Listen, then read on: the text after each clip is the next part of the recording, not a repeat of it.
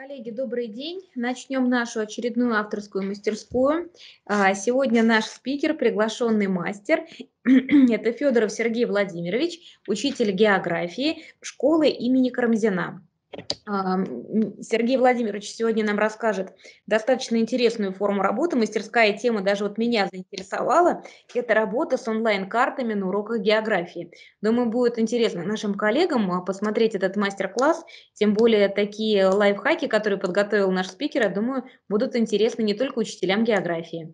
Итак, а, Сергей Владимирович, пожалуйста, передаю вам слово. Коллеги, желаю вам всем сегодня продуктивной профессиональной беседы. Да, спасибо, добрый вечер. Э, в общем, я, в принципе, начну сразу с презентации. Э, я думаю, меня хорошо слышно, да? Видно, э, если, если какие-то... Да, хорошо, видно и слышно. Здравствуйте. Хорошо. Секундочку.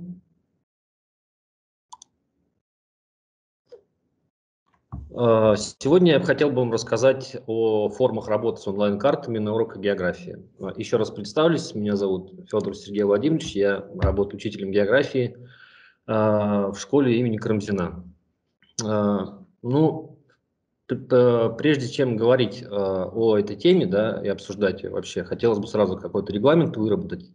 Давайте с вами договоримся, что если у вас какие-то возникнут ко мне вопросы, вы можете их писать в чат, соответственно, в конце выступления я в чат просмотрю и постараюсь на них ответить, на эти вопросы.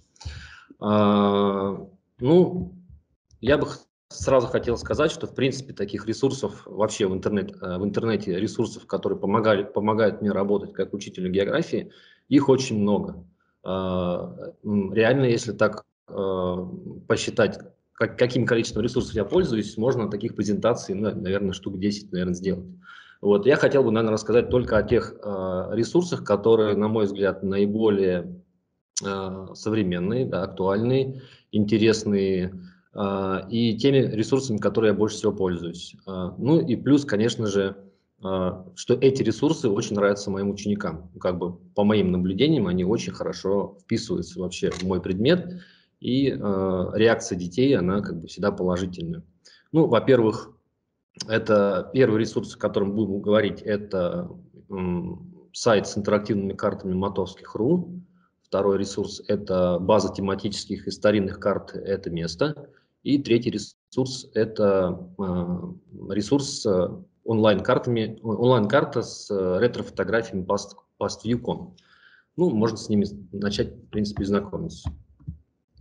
Первый сайт, о котором мы сегодня поговорим, это сайт матовских.ру. Он очень удобен для изучения политической карты мира, для а, политико-административной карты России и прекрасно подходит для зачетов по географической номенклатуре.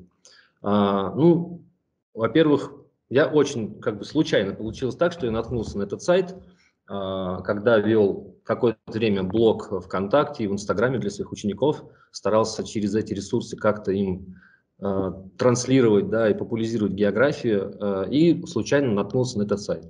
Вот. Э, и оказалось, что он очень интересный и полезный. Он, во-первых, сразу скажу, он не специализируется полностью на географии. Это просто личный сайт человека, который работает в Москве вообще, в, по-моему, в маркетинге. Вот. Ну, давайте с ним познакомимся, и дальше я вам расскажу, как этот сайт развивается и как он мне помогает. А, на этом сайте есть э, подборка э, интерактивных электронных тестов по э, картам, всевозможным картам. Когда впервые я зашел на этот сайт, там тут была только карта России, соответственно, он развивается постоянно. Вот. И здесь очень много интересных карт. Давайте познакомимся с некоторыми вариантами этих карт. Вот, например, если мы выберем с вами на главной странице карту России, пример.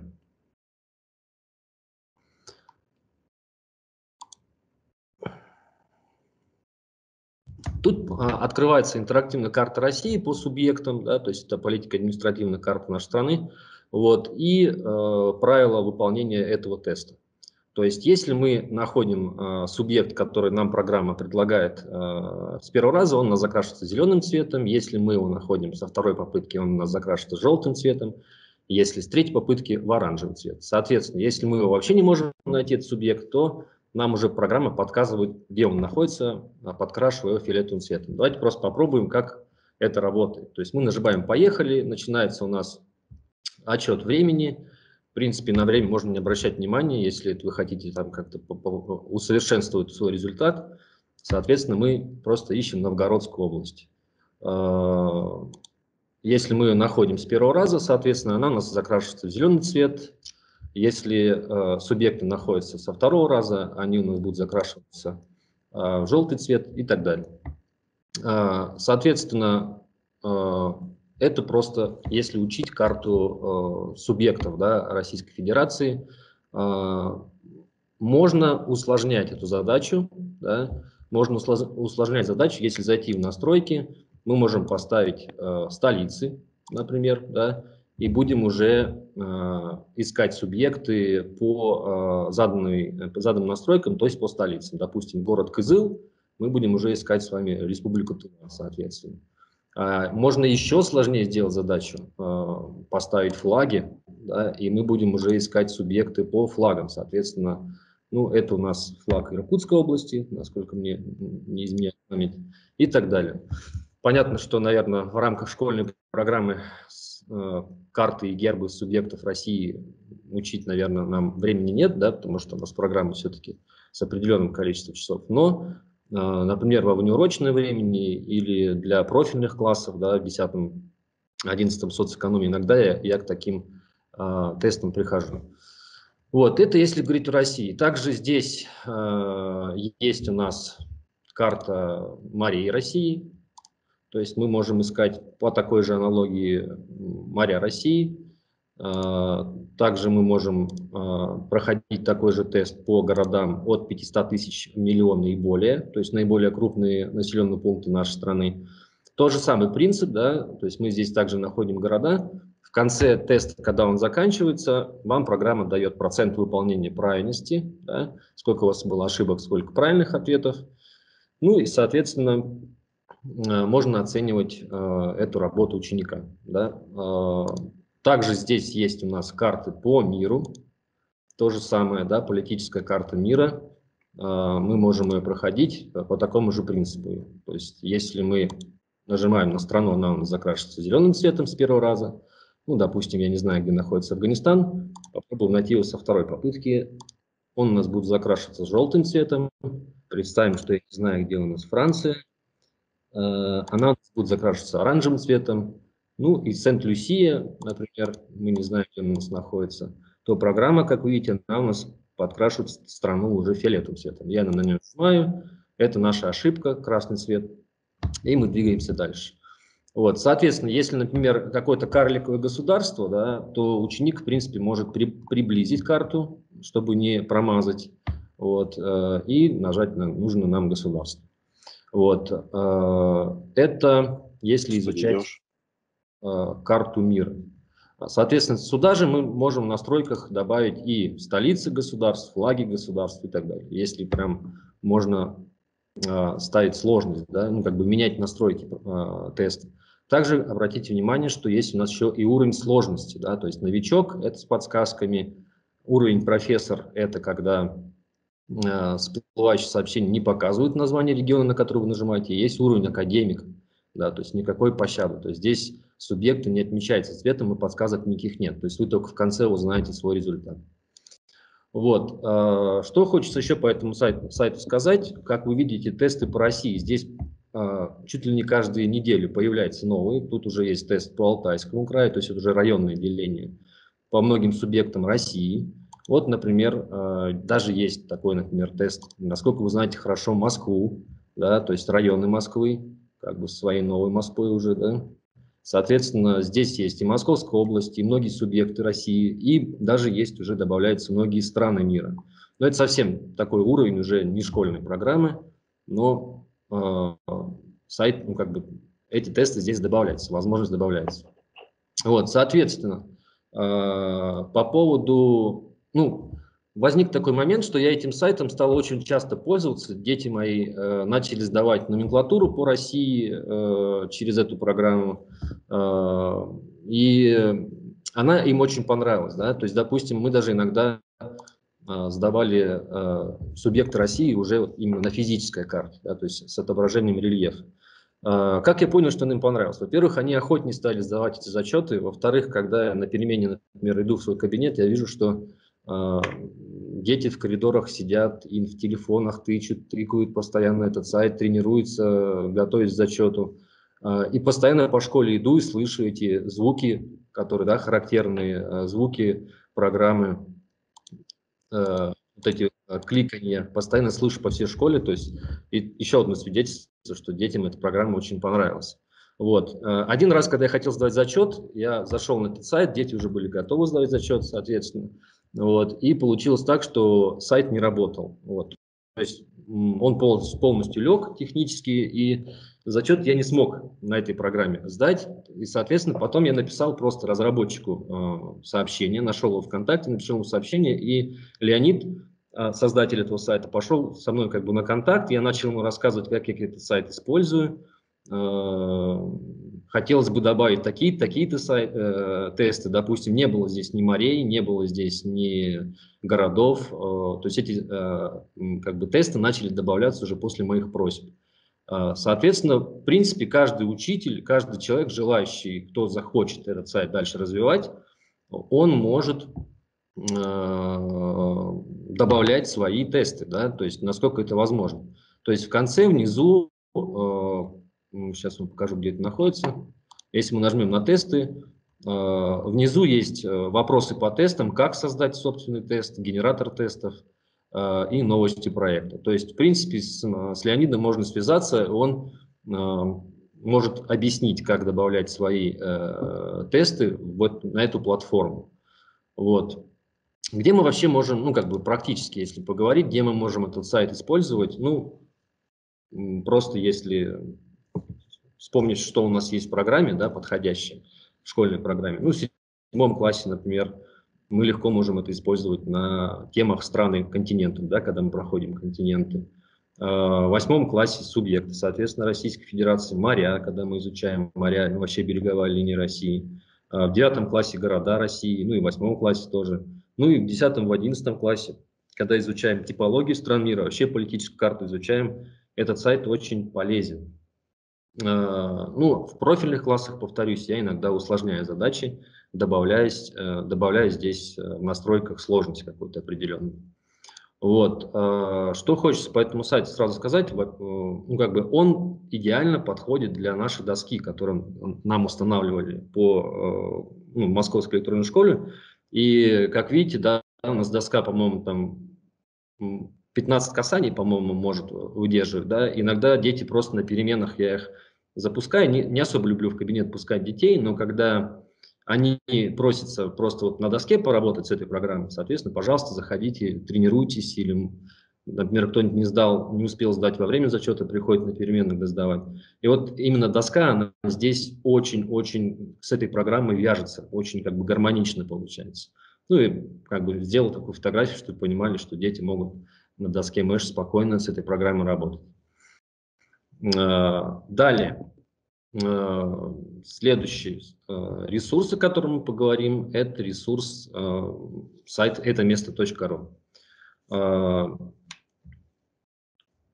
А, по поводу оценивания, я немножко не договорил по поводу оценивания, извините. Во-первых, когда мы были на дистанте, да, дистанционной формы, я задавал ну, как бы не мог принять у детей эти зачеты, вот, но просил просто их присылать принт-скрины э, своих, своего выполнения, то есть своим процентом выполнения. Понятно, что я допускаю, что дети могли списать, да, взять карту, посмотреть, дети государства располагаются или субъекты. Но, в принципе, э, как бы, мы все прекрасно понимаем, что на дистанционной форме дети ну, частенько пользовались э, подсказками, да, списыванием и так далее. В любом случае, я уверен, что у них что-то в голове осядет. Вот, э, ну, можно, можно давать временные какие-то рамки, да, допустим, прислать мне принтскрин через 10 минут. Тогда будет сложнее списать, потому что э, программа идет время и, соответственно... В общем, тут, в принципе, можете сами э, брать эту ну, как бы, программу и создавать свои рамки своей, э, своей работы, то есть вклинивать эту, эту программу в свою работу. А, в школе я просто проверяю очень просто. То есть ребенок выходит, выполняет тест, и я вижу процент выполнения работы. Сразу классу обговариваю, сколько процентов, какая оценка. Вот. Э, или же просто, если, например, класс потоком идет сдача зачета, то, например, субъекты России, э, там, в 9-8 классе, говорю, выходит человек, и первые 10 субъектов отвечают. Вот э, как бы программа жму в рандомном порядке из 85 субъектов, первые 10 он показывает, если нет ошибок, пожалуйста, 5. Если есть какие-то ошибки, да, то есть там по количеству ошибок можно посчитать уже, какая оценка. Итак, в принципе, за один урок э, весь класс, первые 10 субъектов показать все успевают.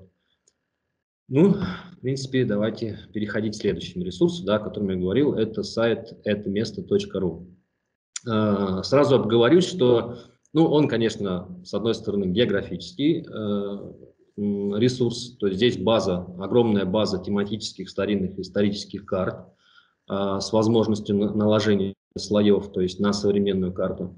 Но и здесь очень много краеведения, да, истории. Э, как бы я, конечно, всегда его часто применяю, но его можно, в принципе, применять и учителям истории.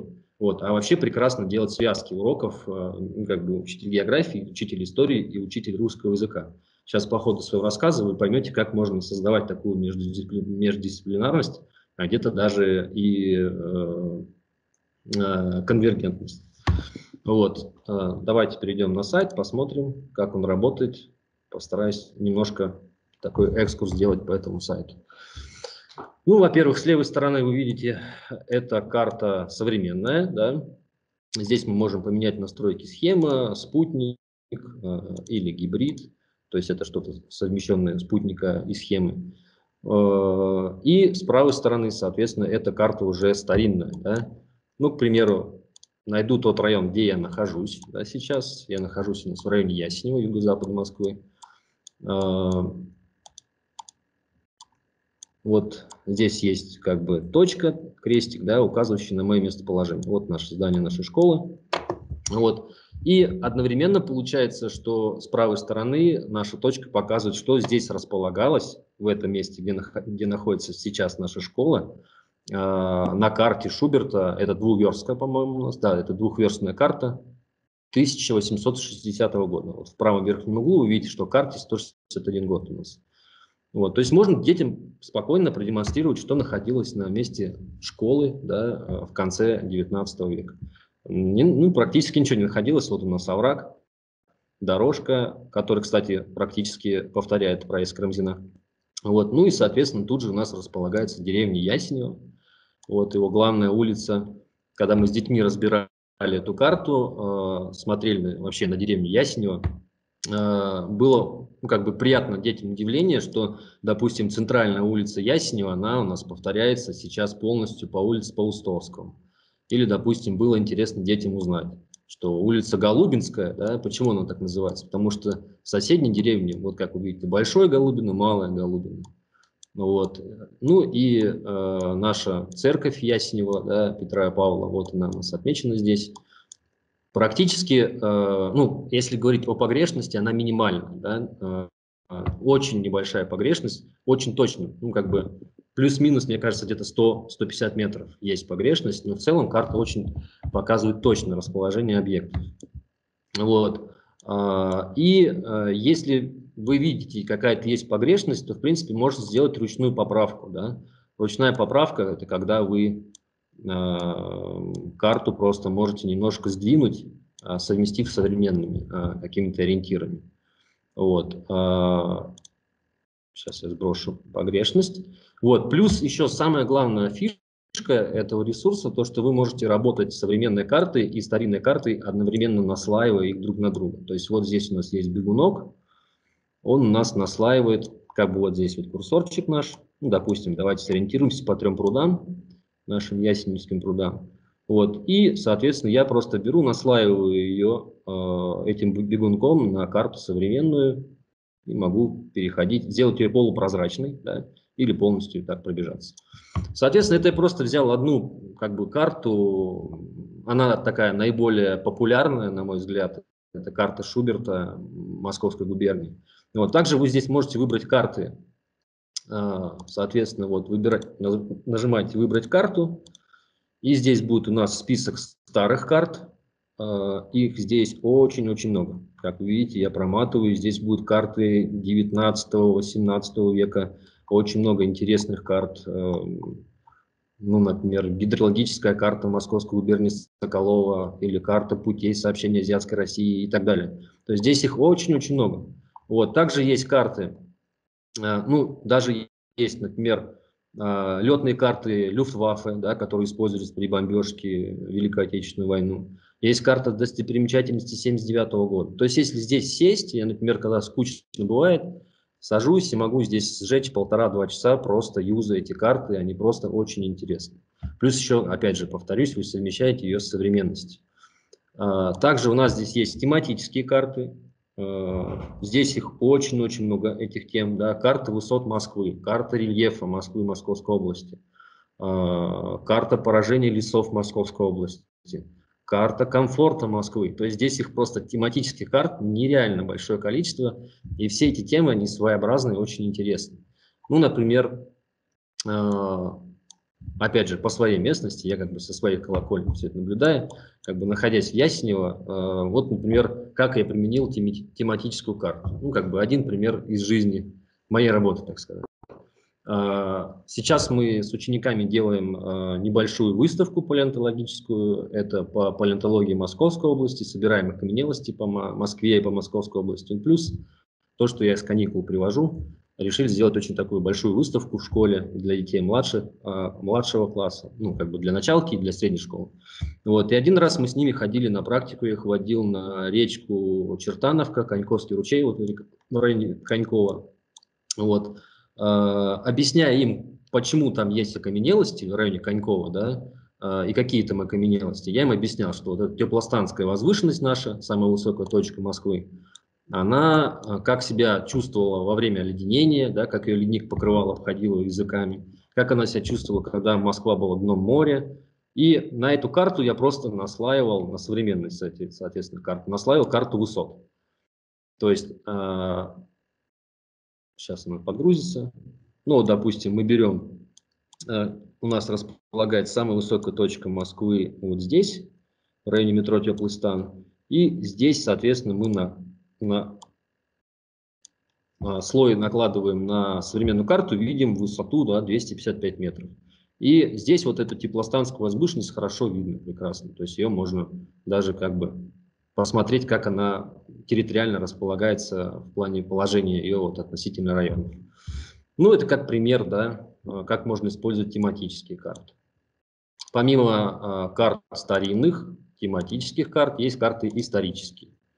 Вот. Их можно тоже использовать как и на уроках географии, их можно использовать и на уроках истории, в принципе. Вот. Ну, э, не знаю, как у вас, коллеги, но, например, когда идет речь о краеведении, всегда наши любимые завучи обращаются именно э, к учителям географии. Да? Э, вот. И участвую в различных конкурсах по краеведению, я эти ресурсы часто использую, они очень сильно выручают. Вот. А давайте я вам несколько примеров еще приведу, как я использовал этот сайт, это место э, вот, на уроках географии и, и вообще где можно еще использовать, будучи учителем географии. А, возвращаемся к нашей презентации. Вот мы э, в профильном классе, в соцэкономии, я делал практическую работу. Я делал, давал такое задание ученикам, чтобы они брали, э, используя этот сайт, да, это место, проанализировали местность, где располагается их дом, как эта местность, ну, район их дома, да, выглядела на картах различных периодов. То есть дети просто анализировали, смотрели, Э, вот, и делали некоторые интересные открытия. Например, девочка в 10 классе, она у нас приехала в Ясень из Жулебина, она, например, узнала, что вместо, на месте ее дома находился там э, экспериментальный аэродром. Вот. Дети в Ясенево живущие находили тоже интересные такие открытия, да, что происходило с их местностью, как она застраивалась, когда Москва разрасталась. В общем, делали такие небольшие краеведческие работы по своему району, по своей местности локальной или по дачным участкам. В общем, это было очень интересно, и они с таким энтузиазмом рассказывали, э, представляли свои такие мини-проекты. Вот. Или, например, был такой момент, когда я в восьмом классе у детей спросил, как называется, вот возле школы у нас есть пруд. Вот я его отметил э, красным квадратиком. Как он называется? Дети понять не имеют. Они там болото, да, как они его еще могут называть? Там, мусорка, свалка. Он, конечно, ну как бы мусора там достаточно. Вот. На самом деле у него есть название четкое, да, он называется Рузаев пруд. Я говорю, давайте расплетем, почему он называется Рузаев, да, и что это вообще такое, и как вообще, что было на этом месте. Допустим, если мы берем ту же самую карту Шуберта, а, то здесь просто овраг, здесь нет никакого а, водоема. А, но, тем не менее, уже зацепка есть, что это овраг, да, в котором потом вода появилась. Если мы берем там карту Москвы и окрестностей 50-52 года, Мосгор Геотреста, то здесь тоже овраг. И вроде как бы здесь этого прудика нет. Вот, соответственно, потом начинаем искать определенную какую-то информацию, понимаем, что есть такая речка небольшая, э, она называется Рузаев овраг.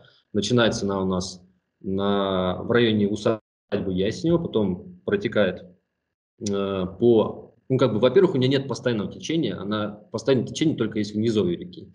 Она потом протекает под, нашим, под нашей улицей, да, Голубинской, вытекает в наш овраг, да, создается здесь пруд, Рузаев пруд, потом ныряет под МКАД и впадает в Верхний Знаменский пруд. То есть река тут длиной буквально километр 200 метров, вот, э, с непостоянным течением образует этот Рузаев овраг. По поводу, о чем я говорил, по поводу связки с другими учителями, да, с историей, там, например, можно за, зарядить историков, узнать, почему он Рузаев, да, откуда такой топоним появился. А, наверняка он именно антропологический, то есть связан с, с фамилией человека. Вот. Тут же можно опять взять зацепку, почему река мы ее не видим, да, потому что она взята в коллектор и протекает под улицами, под домами, и сверху находится а, застройка, да, уже жилая. Тоже, ну, как бы, зацепок очень интересных многих, и детям они очень сильно нравятся. Вот. По поводу, если говорить, э, как можно учителей русского литературы привлечь да, сюда, то можно эти карты посмотреть и посмотреть, как идет написание да, названия улиц. Вы видите, допустим, теплый ястаны, да, а, то есть ну, как бы и шрифт, и э, написание слов, не помню к своему стыду, как это получается, синтаксис, да, ну, как бы совсем другой. И учителя русские могут подключить, русского могут подключиться, объяснить детям, почему так на этой карте написано. То есть прекрасно можно провести такие междисциплинарные уроки как бы историков, географов и учителей русского языка. Дальше. Еще один пример по э, использованию мною сайта «Это место». Э, э, я проводил такую практическую работу в поисках затопленных городов и поселков. Ну, допустим, мы знаем, что в восьмом классе там искусственный ОДМ мы проходим, в девятом классе мы говорим о гидроэлектроэнергетике, ну, как бы в формате топливно-энергетического комплекса. Вот. И детям всегда говорим мы, что при строительстве гидроэлектростанций мощных, да, затапливаются обширные территории. Вот, понятно, такие более популярные места это у нас Молога, там Корчева, да, когда строились там Рыбинское водохранилище, ну так тот же самый Калязин. Вот, это очень тоже интересный момент. Опять же, можно и э, учителей русского языка, литературы привлечь, та же самое прощание с матерой, вот, э, историков можно привлечь. Если говорить именно через призму географии, то я работу проводил таким образом. А, мы с детьми смотрели карты до строительства гидроэлектростанции и после строительства гидроэлектростанции, что происходило с населенными пунктами, которые находились на реках. Да? А, вот, допустим, мы берем с вами участок Волгоградской области, у нас здесь три деревни, Нижняя Добринка, Политодельская и Бережновка. И у нас здесь есть очень большой остров. А, сейчас он является островом. Ну, здесь есть у нас дамба, а, заезд на него. Я отметил три области. Эта область, этот мыс, э, этот берег, северо-западный и северный берег. Соответственно, это современная карта да, э, участка Волгоградской области. Если мы посмотрим на этот участок, на карту Астраханской губернии 1909 года, то мы видим, что здесь территория, на первом участке у нас находится село Слободка и хутор Монастырек. А на этих участках три хутора крупных. Хутор Касаев, хутор Молчановка и хутор Бережновка. Соответственно, красным цветом, если вы видите, я здесь нарисовал в пенте зону, которая попала в зону затопления. Вот, и она у нас превратилась в остров. Тут даже, в принципе, по рельефу видно, что это участок более низменный, и он у нас превратился в остров. Вот, как видите на старой карте 909 года Астраханской губернии, это Пятиверска, Волга у нас представляла ну, такой вот водоем шириной, да, с островами. Теперь у нас Волга, она примерно где-то в три раза больше, да, то есть родилась, и эти села попали в зону затопления, соответственно, были все переселены, укомплектованы в другие населенные пункты. Вот. Э, мы с детьми делали небольшой проект, э, брали какие-то участки водохранилищ различных и делали такие небольшие карты, какие населенные пункты были затоплены. Историков сюда можно подключить, чтобы учителя истории рассказали, как э, происходило переселение, да, например, ну, как бы это, это же смена образа жизни людей, ну, как бы судьбы, да, меняются людей. Вот я почему вообще об этом начал говорить, потому что я родился в городе, который попал в зону затопления, да, Волгоградской области, и он полностью находится у нас на дне Волгоградского водохранилища. И люди переехали при строительстве Волжской ГЭС в 50-х годах, вот, переехали на новое место. И мой дом моей бабушки, он находится на новом месте, его полностью разбирали и перевозили на тракторах э, на новое место. И город выстраивали абсолютно новом месте. Вот, э, детям рассказываю, как мы в детстве гуляли по этим берегам, собирали монеты глазами, да, и там остатки жизни, быта. Это очень интересно, очень такой интересный момент. Вот. Э, далее, далее, далее. Ну, надеюсь, вам понятно, да, что вообще это за ресурс, как им можно работать. Э, дополнение к сайту это место рекомендую еще приложение, которое можно установить на мобильном телефоне, называется приложение Vetus Maps. Здесь с левой стороны я оставил принтскрин э, из э, Play Market, здесь можно его бесплатно скачать. Это то же самое приложение, то есть тот же самый сайт, это место, только уже в телефоне. Единственное э, отличие то, что здесь одна карта только бесплатная, все остальные карты платные, но они стоят там в районе там, 150-200 рублей. Вот. Э, и как вы видите, да, как это выглядит на экране телефона. Я взял спутниковый снимок школы нашей, красная точка, и эта красная, ой, синяя точка, извините, она здесь располагается на карте Шуберта. То есть вы, когда идете по местности, включаете телефон, также этим красным бегунком сливаете карты современную, старинную, современную, старинную, выбираете, загружаете какие карты, соответственно. И это, кстати, приложение очень э, точно показывает, э, обратите внимание, здание школы, вот квадрат, да, и синяя точка даже показывает крыло, где я сейчас сижу, да, в кабинете географии, то есть это даже мое крыло. То есть погрешность просто минимальна. Вот я даже этот э, ресурс очень часто использую, когда, например, еду с грибами или в походе. В походах минимальное количество интернета, там, пол палочки, да, маленькая палочка, достаточно, чтобы сориентироваться, где ты находишься в лесу. И погрешность минимальна, она очень хорошо работает.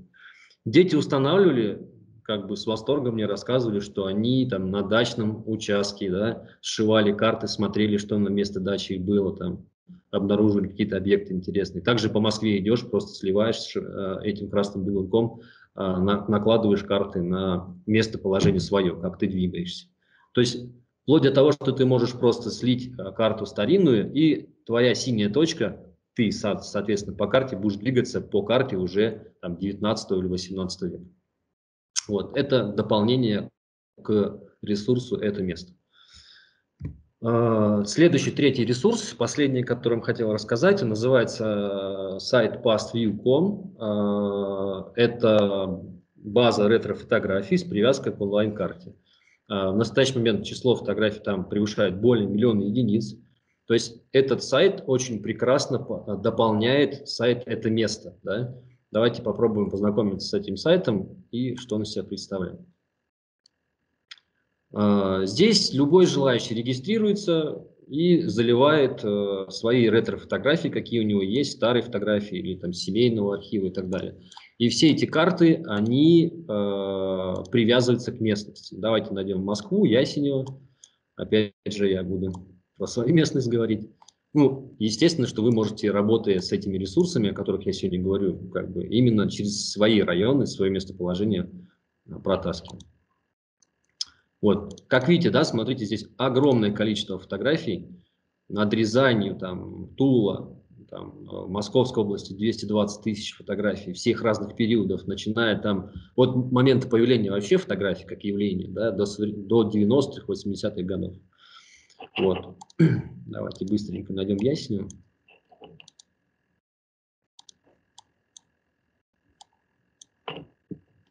Вот. И э, здесь люди э, ну, зарегистрированы на сайте на этом, да, вот здесь регистрация, вход, э, заливают здесь свои фотографии из различных э, архивов своих, э, и обязательно нужно привязывать эту фотографию точкой, где эта фотография сделана. Вот здесь, как если заметите, например, на ПКАДе есть зеленая точка, вот желтенькая точка. Это место, откуда сделана фотография, стрелочкой показано направление объектива, так сказать. Ну вот, на, вокруг Ясенева здесь можно найти много-много разных фотографий, как выглядела местность, например. Там, э, фотография имеет, соответственно, подписи, описание. Вот, э, э, и э, когда мы, например, делаем этот мини-проект по это место.ру, э, дети могут параллельно еще с PassView поработать и отсюда выгрузить какие-то фотографии, дополнить информацию к предыдущему сайту. Да? То есть здесь как бы эти сайты очень хорошо в связке работают. Вот. Такой очень простенький сайт, очень интересный, информативный. Я здесь находил очень любопытные фотографии. Давайте просто парочку примеров покажу. Э, на мой взгляд, они очень, правда, любопытные. Вот, например, детям показывал, как выглядел местность, где располагается наша школа. Да? Это 86 год. Дети бегают, играют в футбол зимой. Вот на этом месте сейчас у нас построен хоккейный комплекс, да, это созвездие спортшкола. А вот на этом пустыре у нас находится наша школа. Ее здесь еще нету. Соответственно, вот это вот, кстати, углубление, это есть Рузаев пруд, Рузаев овраг, о котором я с вами говор, говор, рассказывал. То есть река у нас уходит вот между этими домами, замкат, и туда впадает уже в Бутово, Верхний Навинский пруд. Вот. Дети улыбались, по крайней мере. Им было интересно посмотреть на эту фотографию. Вот. А, опять же, это, ну, как бы, с одной стороны, есть элемент географии, но больше, конечно, краеведение, да, но наша задача, ну, как бы, по крайней мере, моя, я думаю, и ваша тоже, чтобы у детей глаза загорелись, чтобы они захотели на географии заняться картами, поэтому, мне кажется, через эти сайты удается это сделать. Вот. Или, например, мы находили такую фотографию, э, это дом, э, за которым наша школа находится, вы видите здесь двухполосный МКАД, дети тоже смеялись, что МКАД с одной стороны две полосы и в другую сторону две полосы. И здесь фотография у нас 80-го года. Ну, соответственно, передача Олимпийского огня, Олимпиада 80 происходит, а, передача Олимпийского огня. И жители Ясенева стоят вот здесь на, а, на склоне МКАДа, смотрят, как это происходит. Тоже очень любопытная фотография. Вот эта фотография нас вообще с учениками покорила. Фотография периода сделана где-то примерно 900-910 год. Усадьба Ясенева – это господский дом. Видите, здесь сетка натянута, стоит какая-то э, женщина в одеянии и мужчина э, в военном мундире с теннисной ракеткой. То есть они играют во дворе в теннис в начале 20 века. То есть это дореволюционный момент. Хотелось, ну, мы, например, не знаем, кто это, э, что это за личность. И вот Пробуем сейчас с историками выяснить, кто этот человек, почему он играет в теннис в усадьбе Ясенева. Было бы любопытно узнать. Может быть, постараться какую-то информацию про него найти. Вот. И про то место, о котором я говорил, да, когда строилась у нас Волжская ГЭС, на минутку, да, крупнейшая ГЭС Европы, а какой-то период она была даже крупнейшая ГЭС в мире, вот, э, про тот остров, да, э, здесь есть фотография, единственная фотография вообще моего родного города, который находится на дне Волги. Больше фотографий я никаких не видел. Здесь переправа через Волгу, э, город Камышин, да, подпись есть. С одной стороны, люди в город едут, везут с покосных лугов, пойменных лугов сена, а здесь мужички уже нарядно наряжены, видимо, едут в Камышин по делам или на базар, не знаю куда. То есть фотография очень любопытная. Кстати, точка, как видите на карте, она полностью находится на дне Волгоградской области. То есть эта фотография сделана на дне Волгоградской области. Вот. А, в принципе, я постарался так коротко, но емко объяснить вам, как я применяю эти ресурсы на своих уроках. Опять же, их можно применять не только на уроках, их можно применять в неурочной деятельности, при выполнении каких-то проектов. В принципе, на мой взгляд, можно вообще сделать прям целый курс неурочной деятельности, назвать его «это место». Даже, даже название очень оригинальное. И учить детей именно пользоваться этим сайтом, проводить какие-то исследования краеведческие, да, географические. А, единственное, что можно как бы программу просто написать, создать и сделать такой небольшой курс в неурочке да, а, дополнительный. Вот, э, это моя почта, мои контакты. Пожалуйста, если есть какие-то ко мне вопросы, пишите в любой момент, я постараюсь ответить. Вот, и э, в конце э, я вам ссылочку сейчас скину в чат э, для того, чтобы вы ответили на вопросы, ну, как бы говорится, обратной связи. Да, то есть мне было бы интересно узнать ваше мнение о моем опыте, э, насколько он был вам полезен. Э, не стесняйтесь, ответьте буквально на 5 вопросов. В чат я эту форму за, э, сбросил. Если у вас есть какие-то ко мне вопросы, я готов на них ответить. Пожалуйста, можно включить микрофон, задать или написать в чат, как вам удобно. Добрый день. Здравствуйте. Да, меня зовут Эдуард Сергеевич, я являюсь методистом по географии. Очень, очень приятно было вас послушать. Э, в плане содержания все просто супер. Спасибо вам большое за это. И, конечно, большое спасибо за освещение района Яснева, с которым моя жизнь тоже связана на самом деле. Поэтому прям действительно отдельный низкий поклон. Очень много нового узнал, действительно было огромным удовольствием а, открыть для себя что-то новое. Смотрите, вопрос а, такой, какой можете выделить, вот, наверное, вот э, сервис, да, который детям нравится больше всех, который вот наиболее успешен? Вы можете что-то из трех выделить прям вот самое-самое? Ну, вот смотрите, я вообще использую сайтов, ну, не знаю, ну, очень много. Для практик э, я могу их там штук 20-30 перечислить. Я именно три выбрал, которые прям зажигают, вот именно зажигают. Ну, и вот в разном направлении, вот именно сдача карт, да, и работа с уч- э, изучением карт, вот, на мой взгляд, это карта Мотовских, если есть доска в кабинете, она идеально подходит у меня такая возникла мысль, что дети, например, сдают этот зачет и забывают, да, то есть они, ну, как бы неэффективно получается, то есть могут просто через какое-то время забыть, что они учили. Но я несколько раз это проверял, а, дети, когда учат э, карту на Мотовских, они выстраивают какие-то такие зрительные ассоциации, допустим, человек сдает и говорит, Кировская область, начинает сказать, ага, это сердце, то есть похоже почему-то для него Кировская область на сердце, то есть нет зрительной ассоциации. И потом я через год проверял этих же самых детей, ну, она результативность, конечно, упала, потому что забывается что-то, но несущественно. То есть э, сайт работает, в принципе, достаточно успешно. Вот, на, наверное, я бы выделил бы все эти три ресурса, потому что я их выбирал из всех. Э, я не стал прям делать презентацию там огромную, да, я взял три ресурса. Ну, мне почему-то больше все-таки нравится это место. Наверное, я бы его больше выделил, потому что оно, ну, я очень часто пользуюсь, поэтому из этих трех я бы выделил бы это место. Но в целом все три, три сайта очень здоровские. Да, спасибо. Да, это место действительно как бы такое прямо. Да, он э, очень интересный и затронул тоже определенные моменты, которые вот мне тоже были очень интересны. Спасибо большое. Спасибо. Пожалуйста, я был тоже рад поз, по, по, поделиться своими наработками, своим опытом. Если он вам окажется полезен, я только, только буду рад. Никаких секретов нет. Соответственно, я за идею, чтобы география была любимым предметом, чтобы мы, географы, зажигали. Сергей Владимирович, я так понимаю, что вопросов больше у коллег нет. А, будем тогда заканчивать. Э, спасибо вам огромное за ваше интересное выступление. Пожалуйста. А, вам тоже большое спасибо за то, что дали такую возможность да, поделиться опытом. Мне очень приятно.